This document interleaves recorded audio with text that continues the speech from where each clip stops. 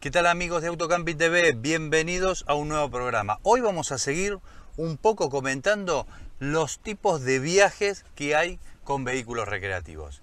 En esta oportunidad vamos a hablar del tercer tipo de viaje, que es un viaje un poco más aventurero, entre rutero y aventurero, que es el más común para aquellos ya que están experimentados dentro de lo que es el rodantismo. Así que los invito a ver un nuevo video de Autocamping TV.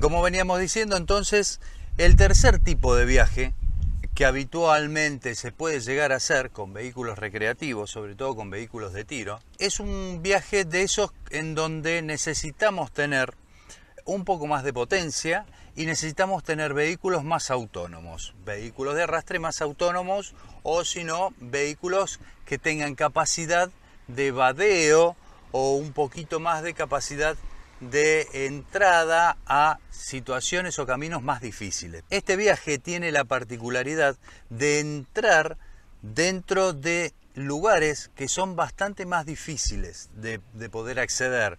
Posiblemente sean caminos de tierra en donde no estén en muy buena situación o a lo mejor haya habido alguna lluvia y entonces ya hay un barrial importante. Lugares en donde las diferencias de altura dentro del mismo camino también sean bastante distintas, entonces eso implicaría de que el vehículo tractor tiene que ser un vehículo un poco más potente, tiene que tener cierto despeje contra el piso, de hecho es uno de los tipos de viajes que nosotros habitualmente hacemos con nuestra casa rodante y por eso tenemos un vehículo con un despeje un poquito mayor y aparte es 4x4 integral, entonces nos permite salir de caminos un poco difíciles, sobre todo cuando hay arena, barro y en algunos casos hay eh, trepadas eh, un poco complicadas, sobre todo esas trepadas en donde tenemos que subir y el camino, a pesar de estar pisado, tiene huellones, tiene esas, esas piedras salientes o huellones, entonces el vehículo queda como tirando ¿eh? Si fuera en tracción simple, quedaría a lo mejor alguna rueda patinando o quedaría, digamos, sin tracción en la subida. Al tener un vehículo 4x4 corremos eh, con la suerte de traccionar con las cuatro ruedas, obviamente, pero aparte nos permite siempre tener tracción en algún lugar. Y si queda colgada alguna rueda, ya estos vehículos están preparados como para traccionar con el resto de las ruedas y no quedar girando sola esa. En cuanto a lo que tiene que ver con el vehículo arrastrado, o sea, con las casas rodantes de tiro, siempre es conveniente que no sean demasiado largas por el tema del balanceo, porque cuando nos metemos sobre todo en badenes puede llegar a quedar colgada, puede quedar enganchada en la parte trasera o podemos recibir muchos golpes en la parte baja de la lanza, que eso va deteriorando de alguna forma o va fatigando por demás el, tanto el material de la lanza como el material de la tortuga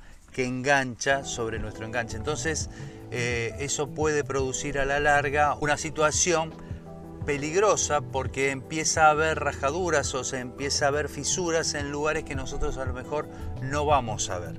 Por eso es bueno que las casas rodantes no sean tan grandes, que sean un poco más chicas o por lo menos que tengan un muy buen despeje del piso. Incluso hay, hay casas rodantes, eh, sobre todo las australianas, pero también sabemos que en el país también se están fabricando, que vienen con unos pulmones en la parte de la suspensión que hacen que se pueda elevar del nivel de rodaje normal, entonces nos da esa posibilidad de meternos en algún que otro lugar complicado. En ese caso, si la casa rodante es larga, eh, siempre es mucho mejor el doble el eje con balancín, ya que el doble eje nos permite, digamos, eh, darle la altura o mantener la altura a pesar de encontrar ese badén o a pesar de encontrar esa loma que puede dejarnos con la lanza inclinada hacia adelante. En ese sentido, eh, la desventaja que siempre decimos de que maniobrarla es mucho más difícil, sobre todo manualmente, el doble eje, en este caso realmente se convierte en una ventaja porque nos da mayor estabilidad en la circulación. En este tipo de casos vamos a encontrar caminos con pendientes, caminos con piedras, caminos donde comienza a lo mejor en tierra y después termina en piedra suelta, por eso el tema de la tracción, pero sobre todo nos vamos a encontrar con lugares en donde también es muy importante tratar de encontrar una huella firme, ¿eh? porque habitualmente pasa de que en curva suele haber mucha piedra suelta y si nos acercamos mucho al borde del camino, corremos el riesgo de que la misma casa que estamos traccionando empiece a deslizarse. ¿eh? Eh, obviamente, mientras más rápido vamos, más riesgos vamos a correr, mientras más lento vayamos, también más vibraciones vamos a sentir. Hay que, hay que tratar de balancear el, tema, eh, sobre todo, bueno, aquellos que, habitualmente suelen andar por las zonas de, de alta montaña o de sierra, el serrucho todo el mundo lo conoce y sabe lo que significa para cuando uno va lento y cómo empieza a sacudir todo el tren. Es importante también tener en cuenta que cuando hacemos este tipo de caminos, dentro del vehículo que estamos llevando, tiene que estar todo lo más ordenado y sujeto posible, porque obviamente todo lo que esté suelto o casi suelto no va a terminar en el mismo lugar y si es algo que se puede deteriorar o se puede romper, casi seguro no lo vamos a encontrar en buenas condiciones al llegar al otro destino. Entonces, este tipo de viaje, el número 3, digamos que podríamos decirle, es un tipo de viaje en donde vamos a encontrarnos con caminos más complejos, con subidas, bajadas, incluso hasta puede llegar a haber algún vadeo de, río o de arroyo, y vamos a necesitar un equipo muchísimo más completo a nivel de pernoctada, o sea, vamos a tener un equipo que pueda ser autosustentable durante por lo menos tres o cuatro días con agua, con electricidad, si tenemos paneles solares mucho mejor. Y además tiene que estar bien equipado por el tema de los climas. ¿Por qué? Porque al meternos en distintos lugares, tal vez en las zonas bajas, sobre todo en las sierras, vamos a tener climas más templados, muy poca diferencia, digamos, entre día y noche pero a medida que vamos subiendo nos vamos a empezar a encontrar mucha diferencia entre día y noche. Durante el día prácticamente vamos a estar eh, en manga corta o bastante, bastante bien y durante la noche puede llegar a refrescar incluso hasta límites bajo cero. Entonces hay que estar bien, bien preparado en ese sentido, hay que tener muy buenos abrigos y si es posible el equipo tiene que tener algo de calefacción. Aún en temporada de verano, muchas veces suele pasar de que las temperaturas bajan mucho y terminamos sufriendo algunos climas realmente de temperaturas muy bajas, eh, sobre todo en la zona cordillerana o en la alta montaña, ¿no? en la alta sierra o en la alta montaña eh, los climas son muy cambiantes y durante la noche baja bastante la temperatura. Así que eso también ténganlo en cuenta a futuro. Otro tema que también dejamos entrever recién con lo que veníamos charlando era el tema del agua potable para estar de 2, 3 a 4 días. Siempre tener una reservita extra, más allá de la que uno sabe que va a consumir, una reserva extra nunca está de más porque tal vez donde estamos entrando el camino se empieza a poner bastante difícil, nos agarra una lluvia, nos agarra una tormenta o por cualquier otro motivo no podemos salir en el tiempo que habíamos estipulado y quedarnos sin agua realmente sería un gran, un gran problema. Y dentro de las cosas que nos pueden terminar faltando es el combustible. Tengan en cuenta de que cuando uno hace subidas o trepadas, el combustible se empieza a consumir muchísimo más rápido, entre un 20 y un 30%. Ya un 20 y un 30% extra estamos teniendo por llevar un vehículo de arrastre, así que ténganlo muy, pero muy presente, porque eso en cualquier momento puede terminar de alguna forma eh, dejándonos varados en el medio del camino. Así que un bidón extra con algunos litros como para poder volver, aunque sea sin eh, nuestro vehículo de arrastre, para poder reponer combustible y después eh, volver a buscarlo, realmente sería muy, pero muy interesante.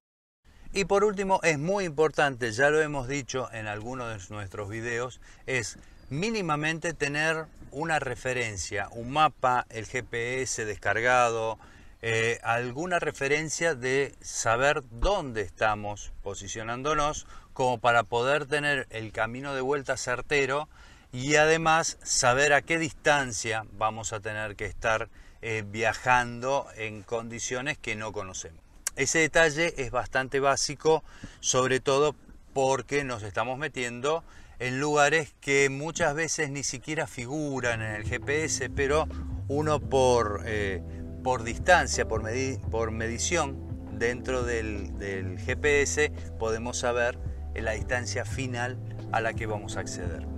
Como siempre les digo, recuerden de consultar antes de salir de camino por algún vaqueano, en la última estación de servicio y todo, cómo es el lugar y cómo va a estar el clima. Habitualmente se sabe, en esa zona se sabe que el clima va a estar difícil o no, que mm, va a haber viento o que va a haber lluvia, entonces uno puede manejarse un poquitito mejor y tal vez equiparse un poco más para por las dudas si llegamos a necesitar. Recuerden mantener bien limpio todos los paneles solares, que eso hace de que las baterías siempre estén óptimas y nos permitan seguir eh, manejando toda la parte eléctrica dentro de los vehículos que estamos llevando a cuesta.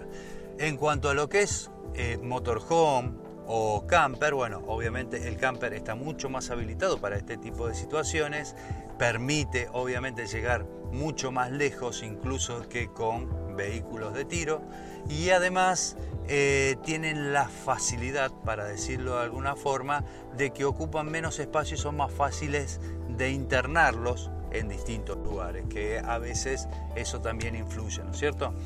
Sobre todo cuando eh, las arboledas se empiezan a, a poner un poco más densas. En el sur habitualmente suele pasar esto, en caminos que uno se va, va serpenteando y se va entrando y se va encontrando con eh, arboledas bastante, bastante intensas. Al de existir nieve, ya la cosa totalmente cambia y lo preferible es no meterse en lugares, sobre todo en lugares de tierra, porque podemos llegar a perder realmente, más allá del control, podemos llegar a perder varios días después en tratar de salir si es que la nevada fue bastante intensa. Habitualmente cuando uno se corre de los caminos, la nieve se pone mucho más densa y mucho más difícil de transitar.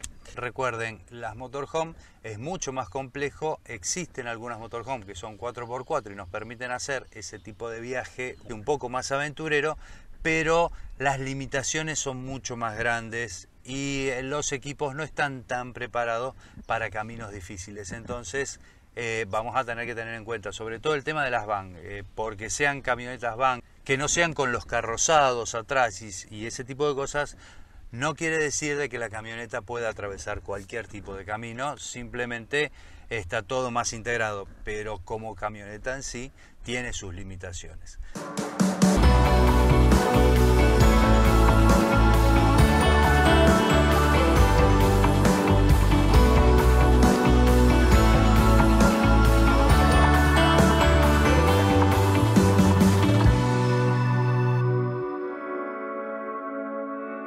Accesorios para vehículos recreativos. Verset.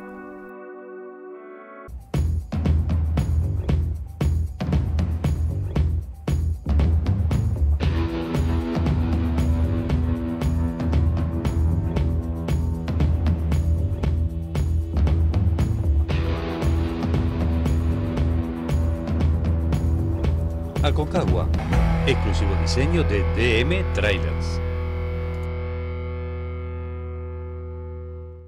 Vení a visitar la Expo Rodantear en San Luis. Casas rodantes, motorhome, trailer, accesorios y muchísimo más. Todo en medio de un ambiente natural y mágico. Potrero de los Funes te espera. Expo Rodantear.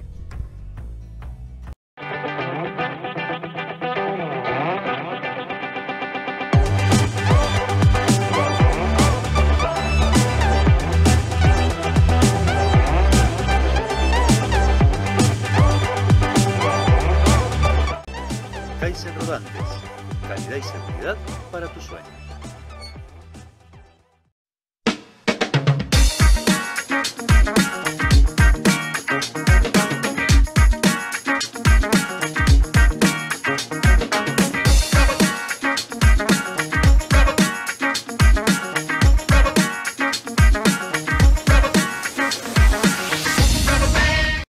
Espero que todo este comentario les sirva para aquellos que quieran incursionar un poquito más allá de lo que es el camping, de lo que es una campe libre eh, en situaciones sencillas o en rutas, que los anime un poquitito a todos a descubrir y a conocer lugares un poco más atrevidos, digamos, para que puedan disfrutar un poquito más allá.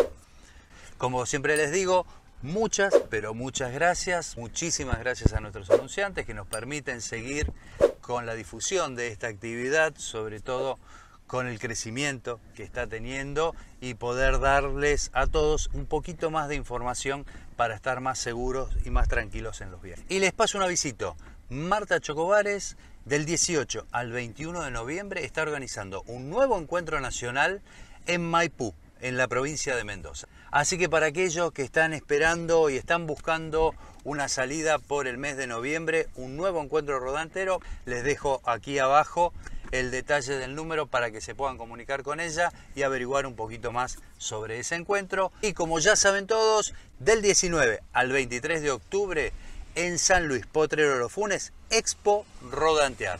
Así que los esperamos a todos y como siempre, hasta el próximo Autocamping TV.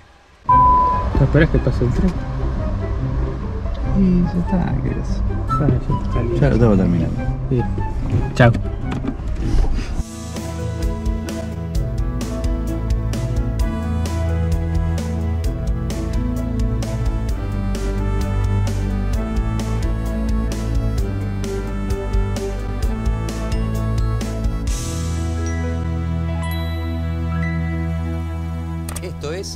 Autocamping TV.